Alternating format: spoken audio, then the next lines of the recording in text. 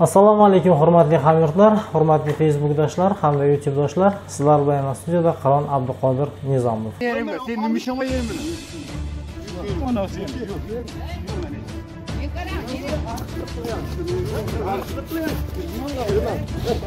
Bir gektaru ikki e, yigirma sotix joy ya'ni pilla ekish uchun tut qator plantatsiyasi bo'lishi kerak bo'lgan joyda e, umuman yo'qligi va o'sha joylar qarovsiz ekanligi mana siz ko'rib turgan rasmlaringizda ko'rishingiz mumkin. Demak ularni chekiga tortib olib chiqib bu yur deb ularga zo'ravonlik qilayotgan zo'ravonlar e, u yoqda qolib ketib turib o'zini uyida o'zini himoya qilgan oilasini himoya qilgan bir yosh yigitni bo'ydoq yigitni olib kirib qamab qo'yilyapti.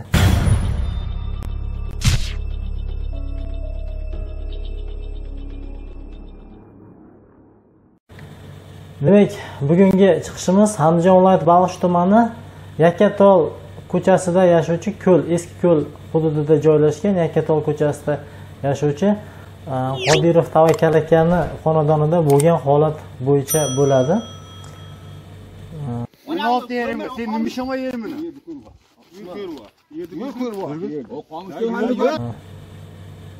demak e, mana siz e, videoda ko'rgan holatlaringiz bo'yicha agar aniqlik kiritadigan bo'lsak e, mana shu hududda ya'ni qodirov tavakkal akani uyini oldida joylashgan e, hujjat bo'yicha bir gektaru ikki e, yigirma sotix joy ya'ni pilla ekish uchun tut qator plantatsiyasi bo'lishi kerak bo'lgan joyda e, umuman tut yo'qligi va o'sha joylar qarovsiz ekanligi mana siz ko'rib turgan rasmlaringizda ko'rishingiz mumkin.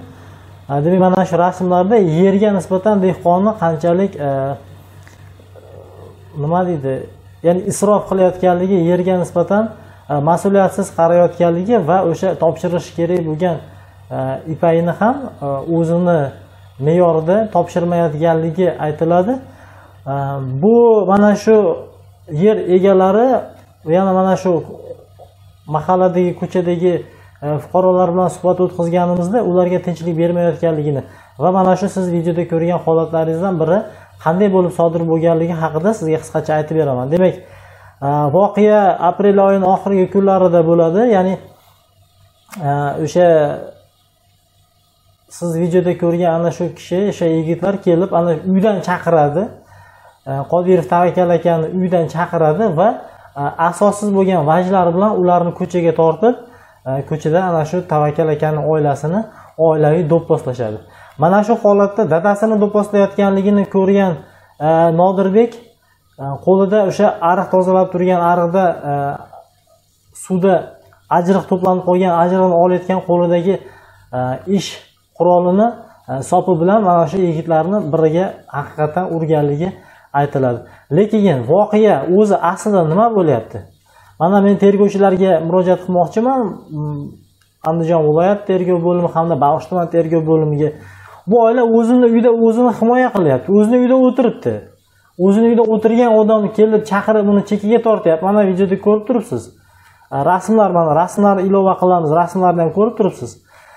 Demak ularni chekiga tortib olib chiqib bu yoqqa yur deb ularga zo'ravonlik qilayotgan zo'ravonlar u yoqda qolib ketib turib o'zini uyida o'zini himoya qilgan oilasini himoya qilgan bir yosh yigitni bo'ydoq yigitni olib kirib qamab qo'yilyapti. Endi hozirgi natijalarga ko'ra hozirgi sabablarga ko'ra tergov siri deb hech qanday ma'lumot berilmayapti lekin bizga kelgan ma'lumotlarga qaraganda bu bolani tayyorlayotgan hujjatlari moddalari umuman to'g'ri kelmayapti. Nima uchun ana shu e, tavakkal akani uyiga bostirib kirgan bosqinchilarga nisbatan hech qanaqa chora ko'rilmayaptiyu o'zini himoya qilgan mana bu oilaga chora ko'rilyapti. Izoh sizdan. E, demak tergov departamentini rahbariyatidan biz iltimos qilgan bo'lardik ushbu murojaatimizga befarq bo'lmasdan Biz voqeani yana bir bor hukmingizga havola etamiz.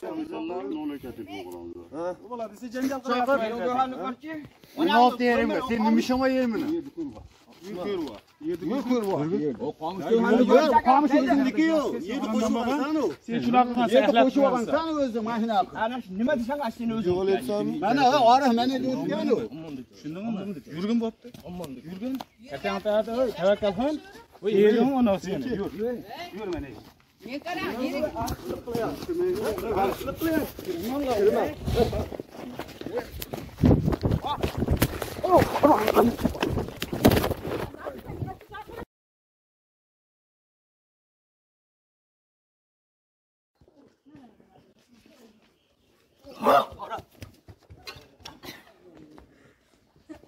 demak bu voqealar voqeaga e, o'zlari rasmiy ijobiy Э, hamda obyektiv э, yondashuvlarni so'rab qolgan bo'lamiz.